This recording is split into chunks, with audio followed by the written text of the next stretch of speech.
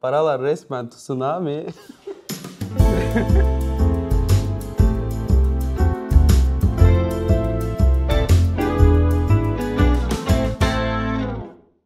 Tsunami hakkında, yapım süreci hakkında gerçekçi bir şekilde konuşmak gerekirse yani evde uzanıyordum normal olağan bir anda. Prodüktörüm Lucky birden bir beat yaptı, drill bir beat. Ve ben de o an drill işlerden gerçekten sıkılmıştım. Ama böyle bir beat yaptı. Beat'i de ilk de beğenmedim. Gerçekten bunu no cap bir şekilde söylüyorum. Beni kaldırdı ve zorla yaptırdı yani bu şarkıyı. Kalktım ve Tsunami'yi birden yaptık beraber. Ben genelde şarkılarımı iki çeşit insanın dinletiyorum. Bir piyasadan olan arkadaşlarıma. Bir de tamamen piyasadan uzak sadece dinleyici olanları dinletiyorum. Ee, hem piyasadakiler hem dinleyiciler de çok beğendiği için bu şarkının tamamen halka mal olabileceğini düşündüm.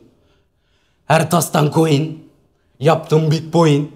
Yok vicdan var kıyım, kemikleri sıyır. Her tastan coin iki anlamda. Birincisi bildiğimiz tas.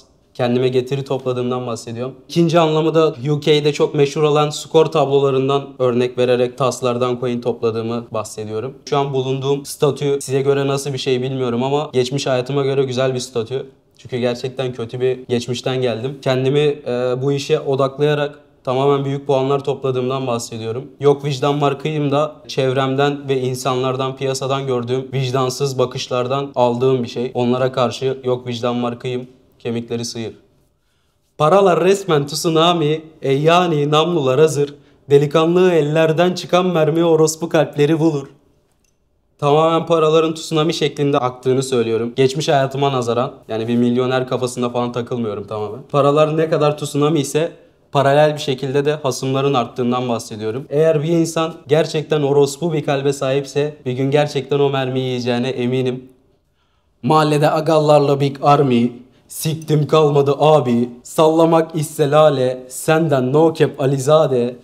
Geçmişim olan agalarımla beraber büyük bir ordu gibi takıldığımızı ve bu işe bu kadar odaklı olduğumuzu söylüyorum. İki anlamda sallamaktan bahsediyorum. Birincisi laf olarak sallamak sağa sola. İkincisi de Alizade'nin yaptığı gibi dans şeklinde sallamaktan bahsediyorum. Alizade'nin laf olarak sallayan erkeklerden daha delikanlı bir şekilde salladığını düşünüyorum. Ben buyum deyip kalçanızı sallasanız daha iyi olur. Anlat tane tane, kokpit şahane, yapmam bahane.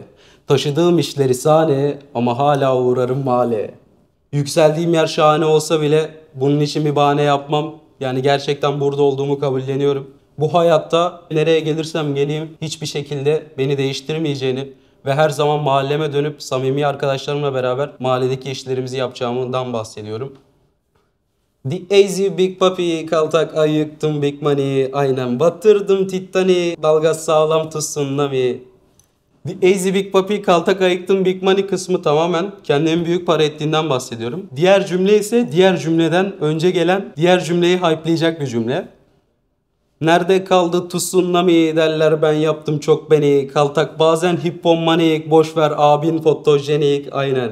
Tsunami'nin linkini Bayağı bir 3-4 ay önce attım. Ve insanlar sürekli tsunami nerede, tsunami çıkmayacak mı, tsunami kimle, tarih ne zaman, sen bize yalan söylüyorsun gibi tarzı dinleyicilerin yorumlarına ve bana gelen mesajlarına karşı yazdığım bir cümle. Nerede kaldı tsunami sanki onların düşüncelerini yazmışım gibi. E, hipomanik kelimesi hoşuma gitti o an. Değişik bir kelime. Yazdıktan sonra anlamına baktım yani. Gerçek olmayan şeylere inanan insanlarla ilgiliymiş. E, ben de boş koy böyle şeyleri abin fotojenik diyorum yani bu kadar. Bunny olarak zamanında Counter Strike oynadık hepimiz. Orada yaptığımız bunny'lerden, zıplayışlardan bahsediyorum. Ama bunu hayatta gerçekleştirdiğimi söylüyorum. Hani siz tsunami'yi beklerken ben zaten bir sürü zıplayış için çabaladığımdan bahsediyorum. Dinleyicilerime karşı bir atıf, bir söyleşi yani. Bir sürü iş yaptım aslında sadece siz görmediğiniz gibi. Türk iş kep yok var kundura, bebek vurduysak dumduma. Hop birden gel İstanbul'a, kahpelerden zindan bura. Türk iş driplerden hepimizin bildiği üzere belki de çoğumuzun ilkokulda giydiği kunduralardan bahsediyorum. Sadece ondan bahsetmek istedim yani bir derinliği yok. Bursa'dan İstanbul'a geldikten sonra gördüğüm insanların değişimleri ve birbirine karşı yaptığı saçma sapan aşağılıkça planları gözlemlediğim için yani burası bir Matrix gibi. Eğer gerçekten başarırsan bu kahpelerin üstünden basıp gidebilirsen gerçekten güzel bir yerlere geleceğinden bahsediyorum. İstanbul benim için tamamen öyle bir yer şu an. Ve sadece çok kısa bir çevrem var. Az ve öz agalarım var ve sadece onlara güveniyorum. Aslanı ormandan bulduran, ormanı aslandan zor bulan. Bu yüzden aldıysak faydalan. Demeden 3-4-5 combo. Kalabalıktan cesaret alan enayilere karşı bu insanların daha ormanı bulamadığını ve aslanı yakalamaya çalıştıklarına dair ve yakalayamayacaklarına dair bir cümledir kendisi. Anlayan anladı. Daha ormanı bulamıyor aslandan bahsediyor enayi işte. Zirveye tırmanırız Rambo. Hiç sorun yok hep çalışır bando. Hiç sorun yok ayarlarız kardo. Ben diyorum rahatta kal Pablo. Agalarımın sürekli çalışkan olduğundan benim için her şekilde çalışacaklarından bahsediyorum. Piyasada çok duyduğum rahatta kal kardo cümlelerinin hiçbir zaman sonucunu bulmadığına dair ufak bir espri yapıyorum orada. Biri size rahatta kal kardo diyorsa hiçbir zaman rahatta kalmayın başka yola ışınlanın birden yani. Ben diyorum fırtınalar istiren, agalar yarınları kestiren, konuşur orospu benden giden, gökten paraları tek indiren. Agalarımın ne kadar fırtınalar estirse de, koşup gitse de, gözlerinin önünü göremeden koşsa da yarınları planladığını, yarınları kestirerek davrandığına eminim. Emin olmayanlar da emin olsun. Her zaman bir planımız var yani. Karşıdaki insanın statüsüne bakan, streamine bakan, bu tür gereksiz bugün olan yarın olmayan şeylerine bakan, insanların olduğu ortamlarda hiçbir şekilde iş yapamam. Kendine özgüveni olmayan insanlarla da çalışamam. Yaptığım işin farkında olan insanlarla çalışırım. Koşturmak istediğim işin farkında olan insanlarla iş yaparım. Bizi sikmeye çalışan insanları hep fark ederim. Bir süre bizi siktiklerini düşündürürüm ve en sonunda onu sikeriz. Bu kadar.